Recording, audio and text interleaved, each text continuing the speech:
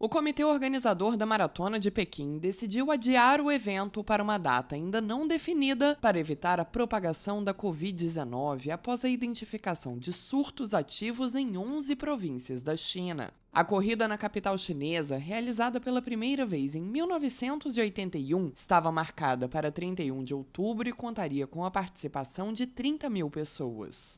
No entanto, o último surto, detectado em meados de outubro após a viagem de um grupo pelo norte e centro do país, levantou alarmes em Pequim, onde há mais de 20 casos confirmados e ativos da Covid-19.